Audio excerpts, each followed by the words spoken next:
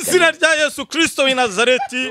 Umwami w'abami igitare gikomeye cyane. Uyu mwanya turaguhamagaye kugira ngo uze ube hagati muri twebwe ropese de faya la sonte kirebo de santo vepa cyari ubugari kimaze guhaga chikinere sansu vepa Wajya wi ku bantu wenyine. lantoze wowe Genda witume. dansoleleya Kanyuka. witeka akora Imbesire. igitangaza kugira ngo umenye ubwiza bw'imana kuri kunuka Ndangije. kuri kunuka nk'imisuzi se bite byawe Byanuka Reka nk'imisuzi. reba imisuzi Imisu- Bite? Umva. ni iki gikoti wambaye nangwa n'ibiki ibyo ibyo kikote nambaye reka nkubwire kanyo kanyombya ni nyoko nuwonge Ah, we- umva. Ngewe. Wowe wowe. Ndashaka kugira ngo wumve neza. Eh, ubwiza bw'imana no gukomera kw'imana ibyo ari byo cyane. wowe uri umuntu w'imana nanjye ndi umuntu w'imana wivuga ngo uruntu mu izina rya yesu. Usome hehe? Urasoma he? Urasoma he? Havuga iki? Mu iki? migani havuga Za- iki mi- mi- imigani Mi- mi- makumyabiri. mi- mi- oya mu ntoki Wakunu zawe wa nyoko wewe wowe ufite umwaku muri iyi minsi abadayimoni y'imbwa baguteye mwayizanye. umwaku niba ari ukwirwa wirukanga hehe na hehe Imbwa je- Ah, ufite umwaku Ufite wowe umwaku. afite umwaku ufite umwaku nabibonye ufite Hehe. umwaku mu ntoki zawe urihe singuyu Ba, Mu sinakubwiye. mazi. Mu mazi. sinakubwiye singaya si Mu amazi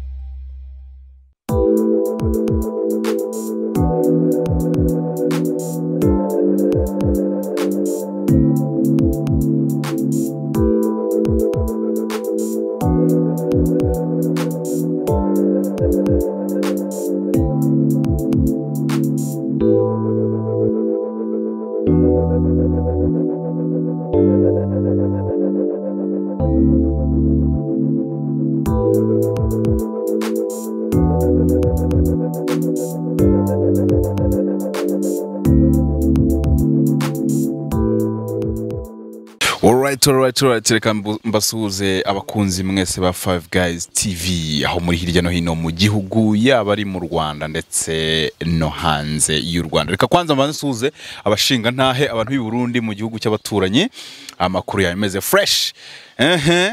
Uyu munsi n'ubundi nk'ibisanzwe ni kwa kundi njya mbigenza nitwa Junior umusore wanyu utagira imigozi muhambira kandi njya nongeraho ngo kubaho k'umushwi ntago ari impuhwe z'agaca ubayeho kubw'imana wa muntu udukurikiye ndi kumwe na kanyombya kanyombino kahita nkore njori ndetse na pasita sekanyana. Reka mbanze nsuhuze bano bagabo mbere ya byose.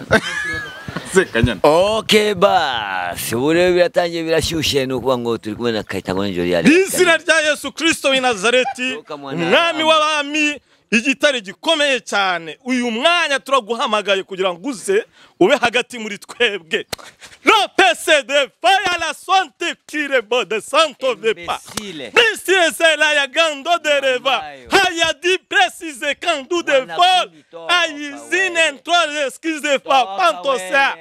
laya bakini dive paye di hayidi prisanso kenerevo Oui, là, il disait pas.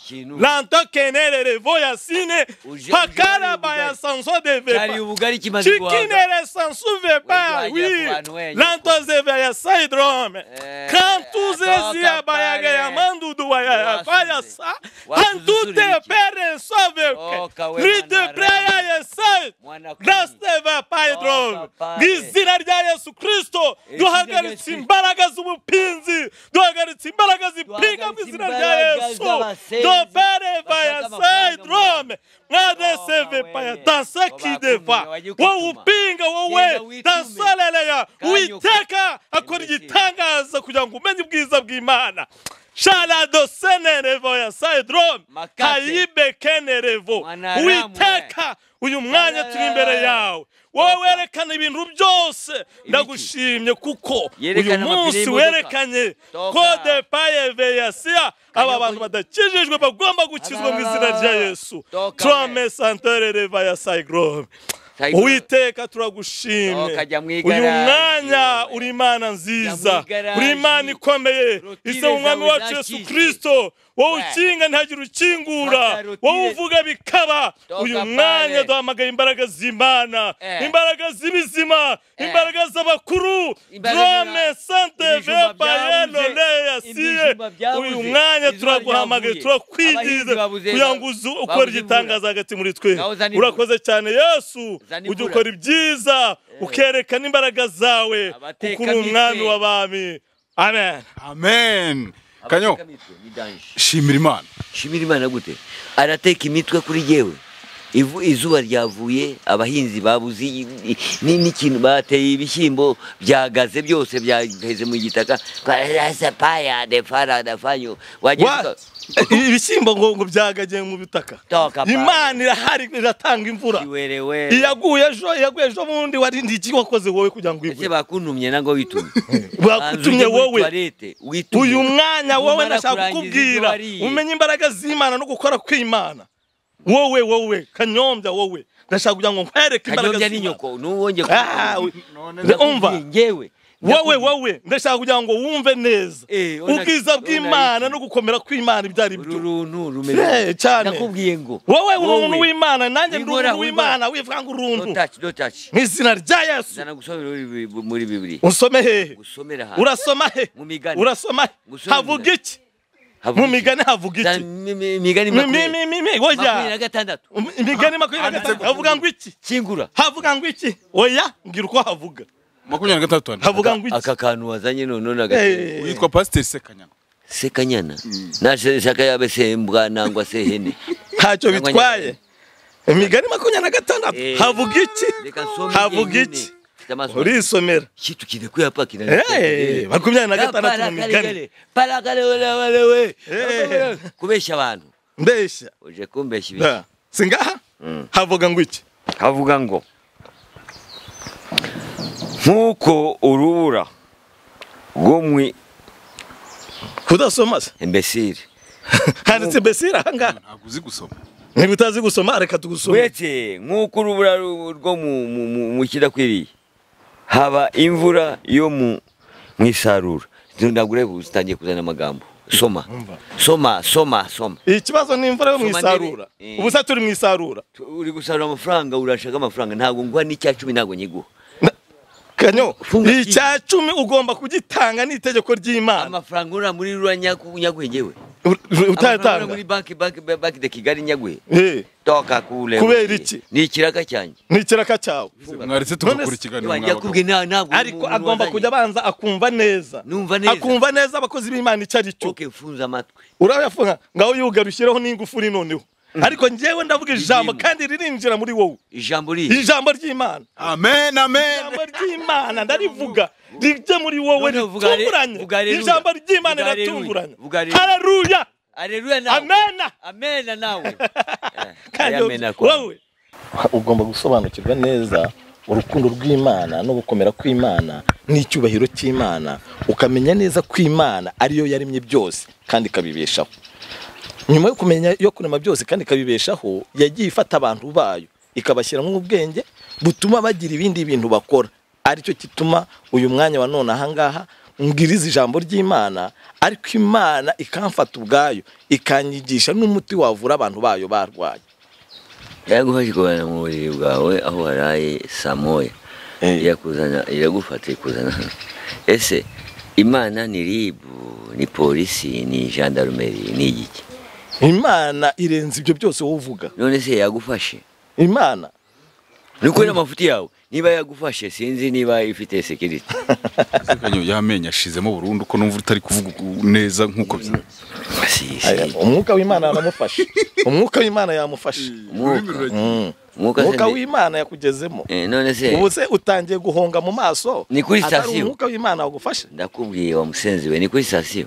Ibyo busenzi byo tubyihorere. Hanyuma ntukajya utukana mu biganiro. Ntabwo ari ibiganiro. Nge ndabona uyu mutipe muzanye ni danje. Niko Eh. wowe wabonye nagiye kuri sitasiyo mfite umwuka. Ufite umwuka? Imodoka ni Uge- ugenzwa n'iki? Imodoka ni ibitobotsi ni cyo cyatumye nakubwiye yuko Imodoka n'ibitotsi kide, bayishyiramo. imana yakoze umuntu imaze kumushyira ku isi. Wari uhari. Imushyiramo n'umwuka. Wari uhari. Mwari kumwe. Imana yari ihari Ariko yo ya, abatekamutwe tuba- imana yo yari ihari. Irabikora. kandi imaze kubikora ibibwira abantu bayo. Uwo mwuka w'imana. Imana yahumekeye mu bantu bayo nibo ubasha gutuma bawumva nibo utuma abantu bavuga ceceke Eh. reka reka reka reka reka. Ntabwo wacecekesha abantu bayo. Umwuka w'imana cyane. Abatarabayo ni n'abahe? Ni abashitani abashyira n'abahe? Ubwo ni nka kanyombya abantu bakora ibyaha bose ni abasatani. Nk'abahe? Nk'abahe. Abanyabyaha bose. Bande se? Abatizera. Uyu mutipe yagera mu mujyi. Hanyuma kanyo uyu mugabo ureba hano nubwo rero afite bibiliya akaba afite genda muzi. Buriya ngo ni n'umuvuzi wa gakondo baba twita abapfumu mu kinyarwanda cyiza. Uvu- uvura gakondo. Mvura gakondo. Uvura ibiki? Mvura ibicwezi. Mvura amahumane. Mvura abantu ba- bafite umwaku nk'uwo wawe. Ndi kubona ufite umwaku we mu ntoki zawe. wowe ufite umwaku? iyi minsi abadayimoni baguteye umwaku? Niba ari ukwirwa wirukanka hehe na hehe Ah, ufite umwaku wowe afite umwaku. Nabibonye ufite umwaku mu ntoki zawe. Urihe? Singuyu iyi nyene y'imbwa mwayizanye kugira ngo urebe ko ufite umwaku afite umwaku ahubwo gifite umwaku iki ngiki njyewe nagira umwaku nkaba pasitoro nkagira umwaku nkaba umuvuzi uri gakondo umupasitori cyane icya cumi gishyirahe icya cumi ni icy'imana ni icya wese yoherereza imana tutikwihere noneho afata icya cumi akajyana Eh. imana akayamuha icya cumi ni icy'uwiteka eh, muri muri whatsapp. Niko uzagende mu gitondo ejo saa moya Eh, ubu none ni umunsi w'umuganda kandi nk'uko abanyarwanda bavuga ngo tuzakora umuganda turebe ukuntu twakubaka igihugu cyacu turebe ukuntu twakora amasuku abandi ba- bananiwe imiganda mu bindi bihugu. Ariko se uragenda mu gitondo ujye kureba imana uyibwire ko ngenda akora umuganda. Udakora umuganda? Umuntu wese ugandira ubuyobozi aba ari umunyabyaha ubwo waba uri ba bandi navuze? Ibyaha. B'abanyabyaha None we- noneho u- ukoze icyaha cyo gusuzugura imana usuzuguye n'ubuyobozi. Iki nta rangamuntu gifite? Njyewe urashaka nkwereka ibyangombwa byanjye. Ute pasiteri yawe agira rangamuntu ya bibiliya se. Na iki kintu ni ikisambu oya ubwo ngubwo arajyana umwereke n'icyangombwa cy'uko ndi umuvuzi gakondo. Ubona n'ibyo ashaka namubonye. Ariko ariko kanyu ibintu uba wigira ni ibiki? Mbikwereke. njye Ibyangombwa umuvuzi gakondo n'umupfumu batandukanye. Eh, eh, abantu bajya Ehe. ry'amafaranga iki? Wabibonye? Zero. Akira. iki? Zeru iki? Ikindi ushaka ni iki? Se Zana- zana n'ibindi. ngo mbona uri kushaka intuzo iki ni cya korona se? Zana zana. Ore dore indangamuntu warumbajije. Eh, akira eh, Urashaka iki kindi? se? kuyigwa ni ukuyoba ntabwo wikwiriye niko Ntabwo- jean ntabwo twinjire mu kazi nyirizina nk'iyi karita tubonye hano. Mm? iyi Eh. karita ni itangwa ngira ngo na minisante yigo rdb oya toka mwanaramu Sasa uyu mushenzi ndakubwiye ndakurahiye Mm. ibi bintu afite ni ibintu by'imitwe. By'imitwe. Ko ngubura gakondo. By'imitwe? Oya oya ni urumva ni titire ebyiri hubwo gihe ni cyo kinyobera. Mvura narasaze. Turebe. Warasaze waranasaze. ukoresha iki njye ndakuvu- ndakuvura umwaku. Ni kuko umwaku nagusengeye iby'ubusazi byo byarangiye. Ntiwaje usara. Kuri kunuka Ndangije. kuri kunuka nk'imisuzi se bite byawe? Njye nuka Reka, nk'imisuzi. Umva. ni iki gikoti wambaye nangwa n'ibiki ibyo ibyo kikote nambaye reka nkubwire kanyo. Icyo nkeneye uyu mwanya. Ndashaka kukuvura umwaku. Uzi icyo ngiye kuvura Eh. ndakuvura kugira ngo uzajye uvugisha ukuri. Njye mvugisha ukuri? Ukuri? Njye mvugisha ukuri ijana ku ijana. Mu- munyemerere nge ngere kuri icyo kintu cy'umwaku. Eh, kanyombya uwo mwaku umukureho. Kamyambya mukuru w'umwaku. yawunkuraho ndawikuraho? Wambaye. Wari ubizi ko uwufite nk'ufite kwande? Wari uzi ko ufite umwaku? Umwaka usugira isura. Ariko ufite u- ariko rwose umubuza ayahe mahirwe wenda? Kanyombya urabona? Akora ahantu henshi akagenda ahantu henshi. Ariko n'ubu nta mafaranga afite. Se n'ubu ngubu tuvugana ntayo. Ufite ibihumbi icumi. Biri hehe biri biri he ko ari ntayo? None se ubwo kubura ayo mafaranga biterwa n'uwo ni mwaku umwaku. Ni umwaku agendana. Noneho mbarira genda kuvura umwaku. Mvura iki? Umwaku ntabwo ari indwara. Ni niba ndwaye umwaku Eh. kuri sashika ugiye sashika barakubwira ati ba- se hashika se nyine bavura umwaku aba bakoresha ibyakatsi. Twebwe dukoresha ibyakatsi byacu bya hano mu rwanda. Eh, bikakuvura umwaku bikakuvura umwaku Eh. amafaranga urayabonye n'igikakarubamba se. N'igikakarubamba. Iki Eh, kindi igikakarubamba kivura umwaku nyine. wagenda se akagenda akabivura wowe se wabyishoborera kutabishobora? Ko njyewe ninjye ukubwira yuko nakuvura umwaku reka nze nkwere pera izo ngofero sha zana ingofero kanyombya umwaka nkukukize imiziro. Ah. imiziro. Umwaku ibintu byagiye bikokama kera kose umuntu atamenya ari ibiki. Ubukene. Ubukene. Ubu- mwana haramu wende. Hereza ari amazi. Aya. si amazi hari ikintu ngo karabye uwo mwaku. Mwana haramu. Shyira hano intoki zawe nkwereke shyira hano. Rambikaho. Ndebe muretse ndebe. Fucking. mutanjijisha hari ikintu uri kubona?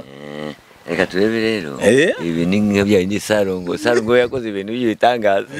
Ngaho gera da rambikaho intoki. Eh. Shyira umwaka hirya wenda amazi atakumeneka ku mwakureho gahamba ibi ni iki? Singiye imyamyaku singiye ya myaku Umwa- aba!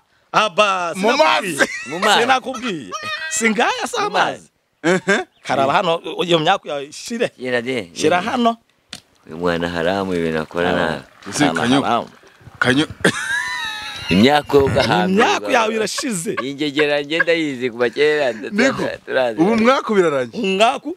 Njyewe tuzongera guhura kanyombya noneho afite amafaranga afite imodoka afite ibintu byose. Ntabwo bikureba imodoka ni yasose imodoka ni iya data. Ese ko bakumwakuye ukaba utari ariko kubyemera? tumaze kugera kuri plake ye kugira ngo umpe imodoka wo wamusenzi we. Ngo iki? Toka pale ibintu muri kuzana bya kemisitiri ntabwo ari byo shimi shime ngawe nawe yikore? Niba ari shime nawe yikore? Urangije impaka ndakugisha impaka bikore? Narizi tosha karatasi harize wiga wiga iki umwaku mu maso ndamwakuye ndakwiyamye ariko uri ndakumwakuye mwene nde ndi mwene ndi? Mwene nde? Eh, ndi mwene sekanyana sekanyana ka kayitayije yingegera moya hivi. Urayizi wowe toka pale.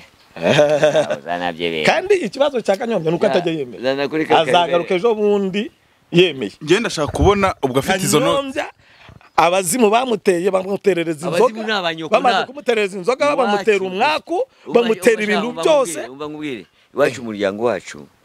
Nta bazimu bahari.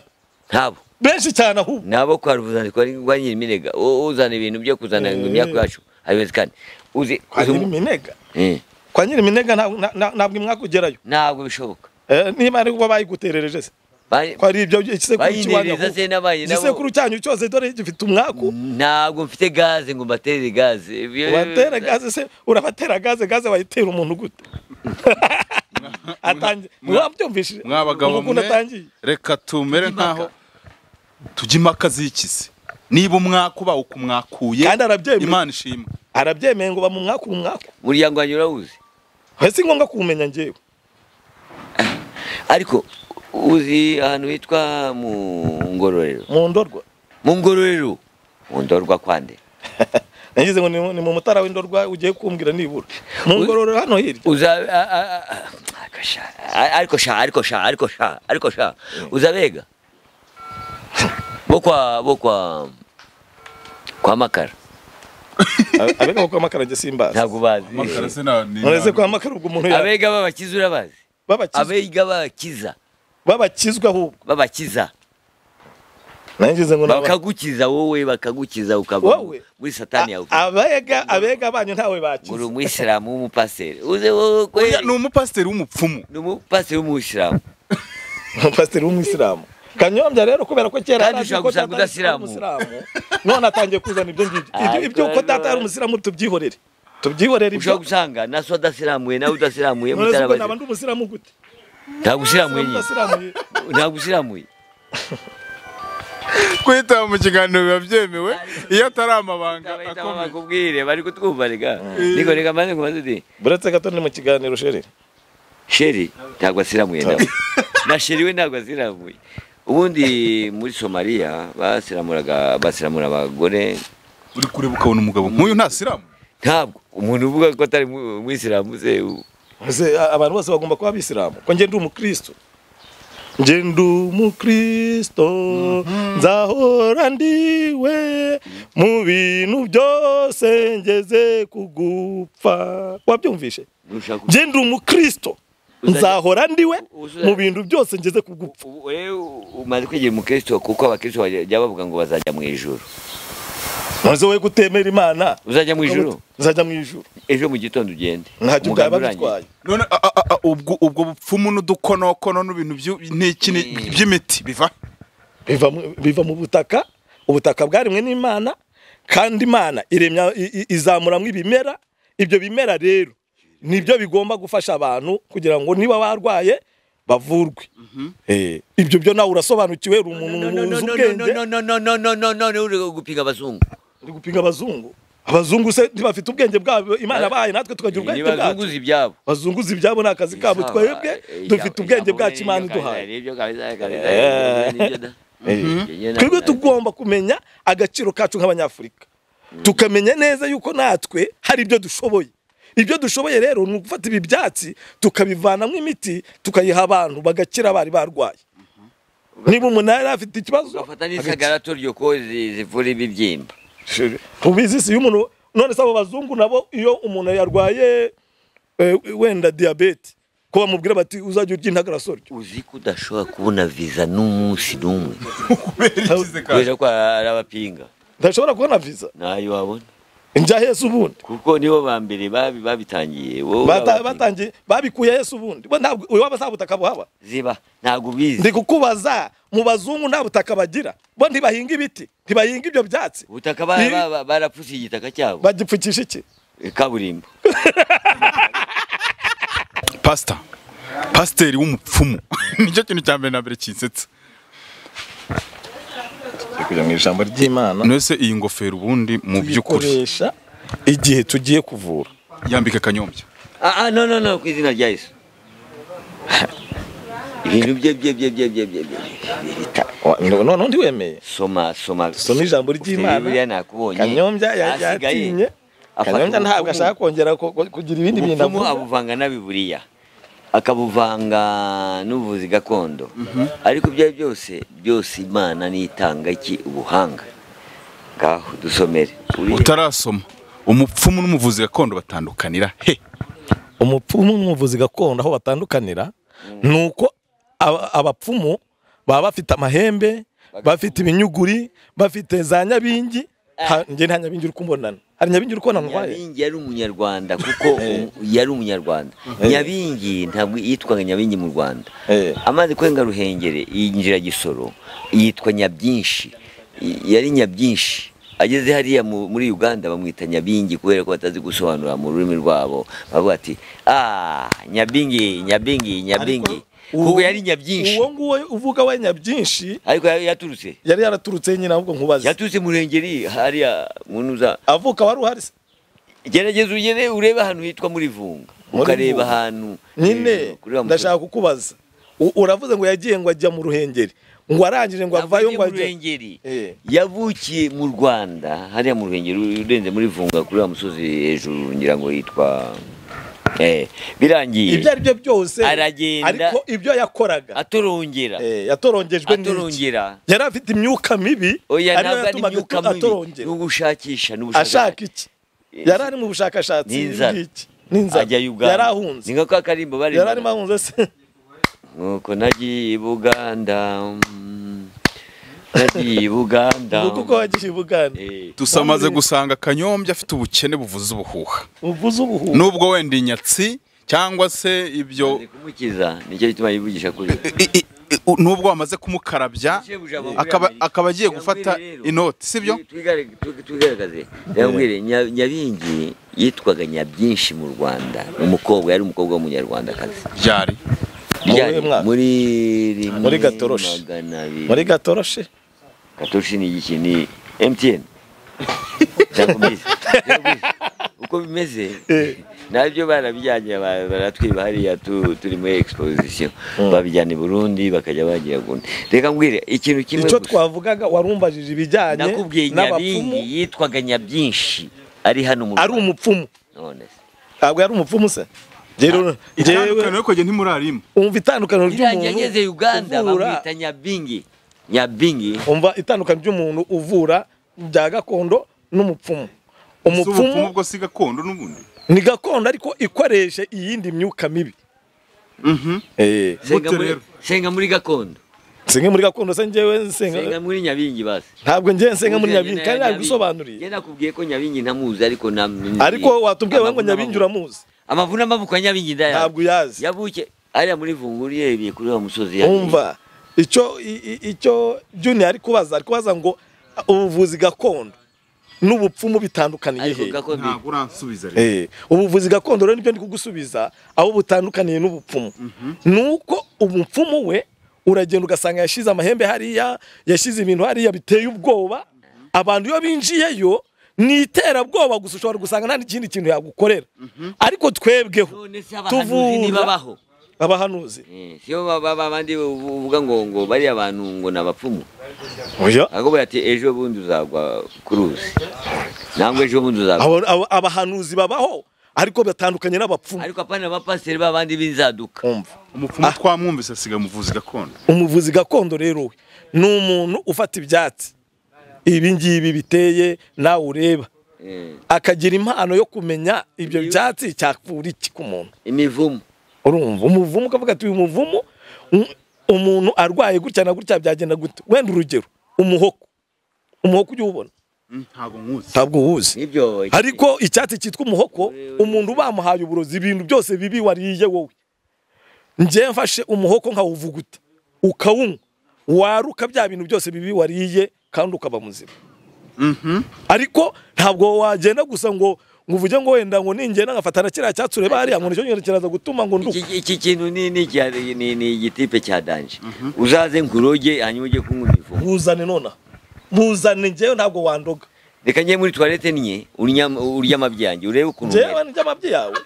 Pasiteri sarya amabyi kanyobora ah, atukana kandi kanyobora ujya utukana ntabwo ni uburozi wowe warya ibintu bivuye mu mubiri w'umuntu toka pale we. None se nyine uburozi ni ibintu umuntu unaweza kufa wapfa we. Ayo make yavuze ye ni uburozi none eh? ni uburozi uranabeshya ahubwo hari ubundi uretse nkwereke abana b'abanyafurika ntabwo babaga bagenda bw'abagore nanjye kubwira hari ubundi burozi bw'abagore nanjye kumubwira reka mwihorere iby'uburozi by'uburozi bw'abagore. weza ko uri umugabo uri umurozi w'umugore. Kanyombya wigeze uroga uriya mazirantoki yanjye kanyombya kanyombya yigeze aroga kutagiye gusobanura ibyo abarozi reka mbaze nkubaze ariko wowe wenda akubwiye ngo nanyoye kanyanga. Buretse nanyoye kanyanga. Mm. Kanywa pirimusi eh. kanywa mitsingi. Mm. Kanywa amusiteri biya nkanywa mm, byose mu gifu cyawe? Eh, byose mu gifu. Kagenda nkituma ukabirya. Ntabwo wapfa. Wese ko byari biri mu nda yawe ko utapfuye reka twigire mu ijambo ry'imana. Soma de uyu munsi ndashaka ko tuganira ku ijambo yesu nawe yavuze. Yesu. Yesu. Uramuzi? Yesu ndamuzi. Wamubonye he? namubonye he? Mm. mubona mu bitangaza? Kandi we ntiwabasha guhita ubibona. Yesu yigeze Ibitangaza ni iki? yageze mateyusi kanyombya ni umupagani. Reka twisomere ijambo ry'imana. Yesu azura umwana wa yayiro. Nicyo kintu ushaka kugira ngo tuvuge wa yayiro. Rero ni sogokuru wawe se? So yayiro ni umuzungu wiyongeye iyo yesu yari ari. Ngo ni umuzungu. Eh. reba komeza. Eh komeza. Umunsi umwe bajya kureba ahantu yesu yibereye nk'uko namwe mwaje kundeba. Soma Bahageze. Yesu we arabitegereza arabareba. Amenya neza ikintu kibarimo. Iyo mpano yari iri muri yesu ituma umuntu akureba akamenya ikintu kimurimo. ni nako nanjye umwuka w'imana iyo ari muri Umwuka. ambesha kumenya ibintu biri kuri kanyombya none se ndakwaza ese wigeze ubona ugera kuri sitasiyo ukabona baguha umwuka umwuka w'imana? Wawubanye? ijambo ry'imana rivuga. Akivugana nawe haza abavuye kuri wa mutware w'i- w'isinagogi bati wa mwana ko yapfuye uracyaruhiriza iki? Umwigisha. Ariko yesu ntiyabyitaho. Abwira umutware w'isinagogi ati witinya izere gusa. Ntiyajya ntiyajya kugi- ntiyakundira undi muntu. Mm. kujyana nawe keretse petero na yohani na yakobo mwene se. Baragenda bagezeyo na hano hano hafi aha ngaha Yohana yakobo arahaba wasanga ahubwo nawe witwa. Aho- Yohana ataba ni hehe? iyo nshaka ndashaka kubona real. Ibintu biri real Eh, urashaka Yohana? Petero- na yohani na yakobo barashaje se. Pasiteri kankoze ikibazo. Kanyombya waramubajije ngo ninde wambukije abisirayeli inyanja itukura? Aravuga ngo ni mupenzi. Ubundi oya none se mu rurimi rw'iwabo. Oya mu rurimi rw'iwabo. Iyo bagiye kuvuga mose bavuga umupenzi ninde wambukije abantu?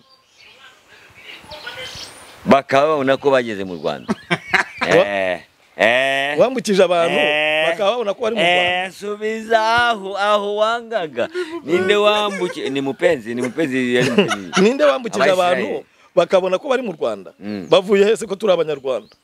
Mwahoze hose. Twahozeho nyine ryari? Kuva kera. Abari uganda bari kampala batari abanyarwanda se? Eh, bari bagiye bagiye ari abanyarwanda none bari mu rwanda rwabo bagiye ari abanyarwanda bagaruka n'ubundi ari abanyarwanda. baza batunganya u rwanda uko tubona impamvu uri kuvuga ukaba wariye wakoze ibintu byose. Ni ukubera abo ngabo babashije kugera gute? Kugira icyo bakora kugira ngo u rwanda rube ruhagaze uko uyu munsi. Ni umuntu witwa yari sogokuru witwa uwo nakemera ni paul kagame. Ni waduhaye mukotanyi amahoro. ni mukotanyi yavuga mupenzi. Ntabwo yakongera kumuvuga imbere eh, uretse ga- uretse gato uretse gato musubize kino kibazo. Eh. ye ndabaza buri umwe kuko muri guhara ku ijambo ry'imana wenda njye ntabyo nzi. Ye Fucking, fucking, fucking. Okay. yezu yapfuye afite imyaka ingahe? Mirongo itatu n'itandatu. Gute ni wamubyaye uri nyirarume none se wakuvuze mirongo itatu. Oh, wowe uri se. sawa. Kiragarutse kanyo cya kibazo. Uwambukije abisirayeli inyanja itukura ninde simuzi. Ntabwo nagezeyo ahubwo ngo ni mupenzi ni ni uyu ni nguyu. Mose. Ni uyu nguyu. Niwe wabivuze ngo mose ni we wambukije abisirayeli inyanja itukura. mwari kumwe. Ni nyokoro mena ngo nubwo twaba tutari kumwe iki gitabo ngenda cyemera. Reka mbaze iki gitabo cyahumetswe ni n'umwuka w'imana ihoraho Wambukije abantu. rero mbikwereke njyaho bakagira amahoro mu rwanda. Bakaza mu rwanda bari hanze. Na n'ubu bari hanze bajya bavuga ati u rwanda. Rwacu perezida paul kagame.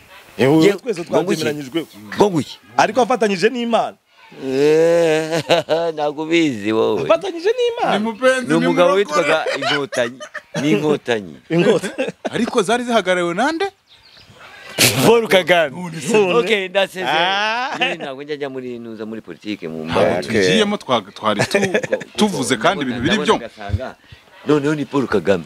Turangije kandi bayi uriya ni uko ajya ava mu kiganiro. Ukagenda sekanya reka twigire nyirizina kuri wa muntu ugukeneye avuga ati sekanya ndamushaka wenda nsengere cyangwa se amvure. Ibintu nk'ibyo. Umuntu ushaka sekanyara felicien pasitoro yamusanga i karembure mu murenge wa gahanga akagari ka karembure eh, akarere ka kicukiro. Ahantu imbere y'agasoko ahantu bita mu bigo agasoko k'ahantu bita mu ibambiro. Aho uhageze uwo wabaza wese ukabaza ngo kwa wa muganga uvura gakondo witwa sekanyana felicien ni hehe bahakurangira? Uri iburasirazuba. Wabariza ahantu bita i Gakenke muri kiramuruzi mu mudugudu w'umure hafi ya kaburimbo neza aho bita ku muwembe aho ngaho naho. Mpafite eh, irindi shami nkagira n'umuntu dukorana nawe iyo hari umuntu ufite ikibazo cyo kurwara ukeneye gusengerwa aragera hariya bakamusengera bakamufasha no kugira ute no gukira uburwayi bwe. Uri iburengerazuba za rusizi. Ugera i rusizi mu murenge wa gihundwe ahantu bita karusharirizi gihundwe ya kabiri karusharirizi aho ngaho naho hafite irindi shami. Iyo rero ibyo ngibyo byose utambonye gutyo urampamagara kuri telefone yanjye igendanwa zeru karindwi iminani ibiri mirongo itandatu na kabiri mirongo irindwi na karindwi mirongo ine n'icyenda. Iyo ukaba uhamagaye pasiteri sekanyana felicien umuvuzi gakondo wabigize umwuga. Aho twari turi mu kiganiro hano kuri Five Guys TV reka mbabwire ngo muri abasirimu cyane cyane cyane. Make sure ko wakoze subscribe hano kuri channel yacu kugira ngo ibintu byose bimere fresh umunsi ku wundi. Njye n'ukuntu areshyaga nitwa Junior twari turi kumwe na Pastor Sekanyana. Ubundi reka dushimire abantu b'abanyabwenge badukoreye amatelefone ukeneye Sekanyana muhamagare nta n'ibindi bintu byinshi izi information zose azikwihere kuri telefone cyangwa se kuri whatsapp. Mwakoze cyane abo twari turi kumwe ndabakunda cyane. Sinjya mbura imigozi impambira namwe ntabwo mugomba kuyibura ciao ciao.